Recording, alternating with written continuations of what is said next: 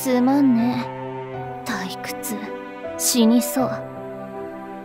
悲鳴が足りないっていうか血が見たいっていうか。でもサーバント相手に宝具打つのも飽きたしな。なんか変わった相手。